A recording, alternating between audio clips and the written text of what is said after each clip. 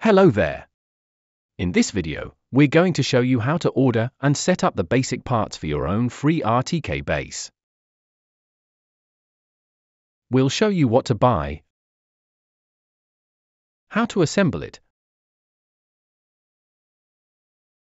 how to configure it, and in the next video, we'll show you how to post-process and fix an accurate location for your base. Please note that all the links you need are in the description. Roll up your sleeves and let's get started. First we'll order the GPS and antenna. The models we recommend in this video are what most people use, so if you decide to go off track and get something different, be prepared to have issues of some kind. The GPS is the simple RTK 2B budget, and we order it without connection headers and we'll take a micro USB cable as well.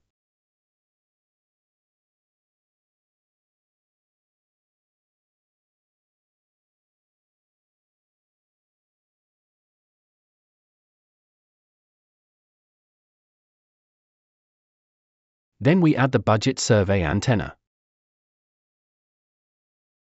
It comes with a 2.5 meter adapter cable.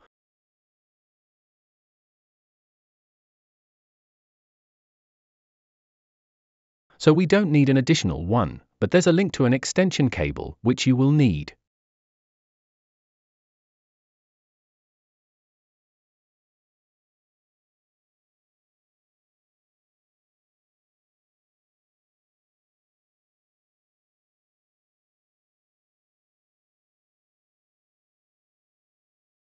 Alternatively, you could purchase the extension cable on Amazon.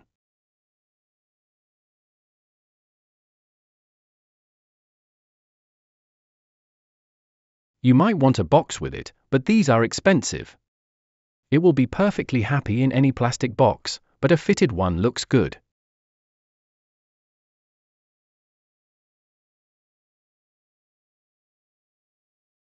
Or, you can 3D print your own with this model.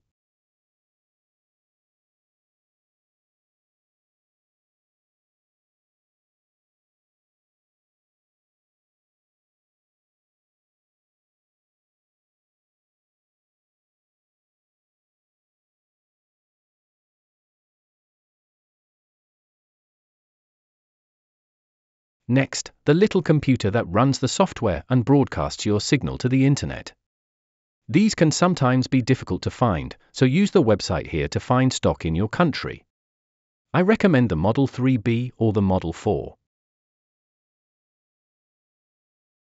1 GB will work great, but 512 MB will also work. Avoid the Model 3A, the Model 5 doesn't work properly the way we're going to do it, and other models are just plain unsuitable, so save yourself some trouble, pick a 3B or a 4. You'll need the Pi, a power supply, some micro SD cards, and we recommend two so you have a backup one on hand if one gets corrupted so you can switch over quickly. 32 GB is more than enough for RTK base. You'll also want a case. You will likely also want an adapter to write the software to the SD card, so get one as well if you don't have one already. Again, links for suggested systems and supplies are in the description.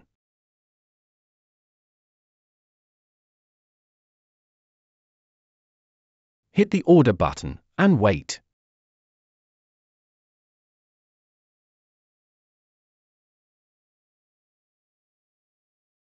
While we're waiting, we'll download the software you're going to need. First, we'll grab the excellent RTKBase distribution. This is a self-contained system that the Raspberry Pi will run exclusively and as we'll see in the description here, it's primarily for the Model 3, but as we said, it also works on Model 4. Click through to the download page, and we'll grab the latest release and the largest file. Next, we'll get the Raspberry Pi Imager, we'll use this to write a customized image to the SD card. Now would be a great time to insert your memory card into the card reader and plug it in.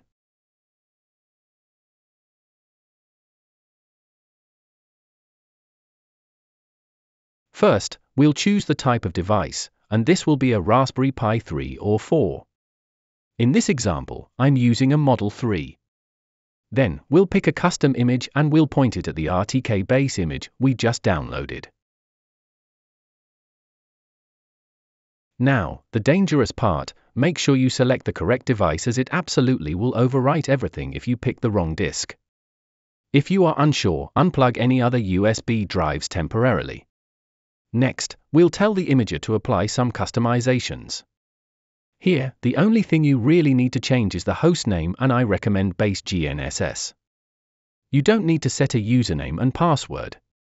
If you want to use Wi-Fi, you can enter that here and it absolutely has to be exactly correct or it won't work. However, we recommend plugging your base directly into your home router if possible. You can also change the country. Then, save, select yes to apply the customizations, and wait. If you see this error about the drive being unformatted, cancel it, do not try to format it.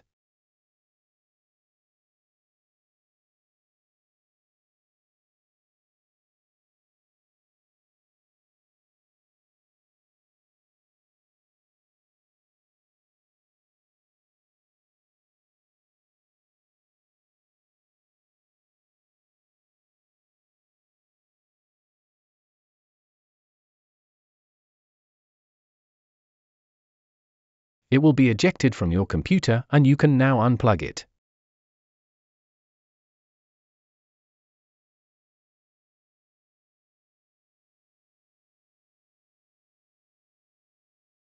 Then, it's over to connections. Follow the diagram here.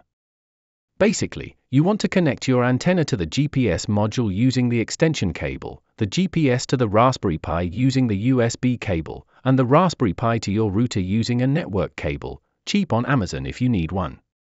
A monitor or television using HDMI is optional. There is nothing to do during setup except wait, but if you're wondering why it hasn't worked after a few minutes, you can always plug it into a screen to see. The ports with the red crosses should not be used. Before powering up, make sure your antenna is plugged in properly and has a great view of the sky. You want it in a place where it has an unobscured view to the horizon in as many directions as possible. It should be fixed solid so it doesn't move in the wind.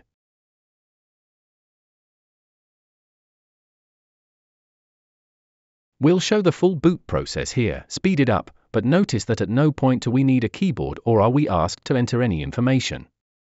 You don't need to see any of this at all, you can simply wait a couple of minutes once it's powered up and advance straight to the web setup.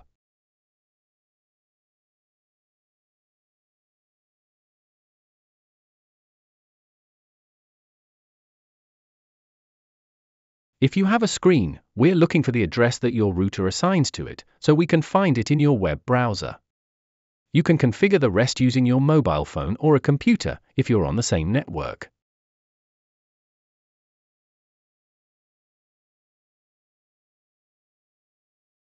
In my example, the address is 192.168.1.232.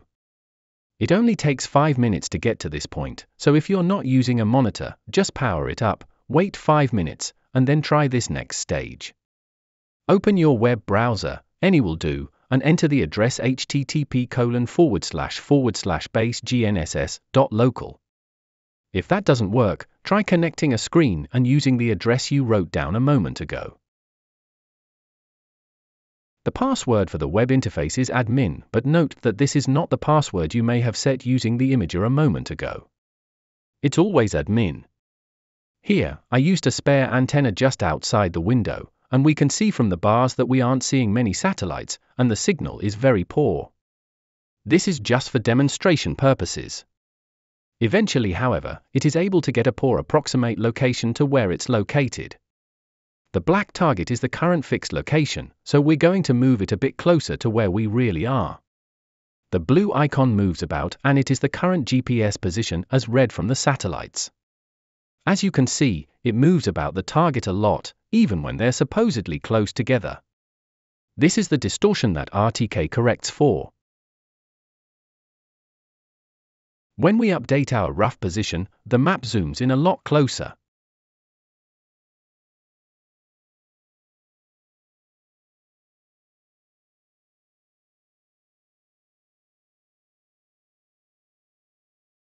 Again, the blue icon is the current GPS reading, and the black crosshairs are your set location. But it's still useless. So we enable the file service for logging and we wait to get a full day's worth of data. We'll need this for the post-processing correction that we'll cover in the next video. For now, you've completed the basic configuration, see you in the next video.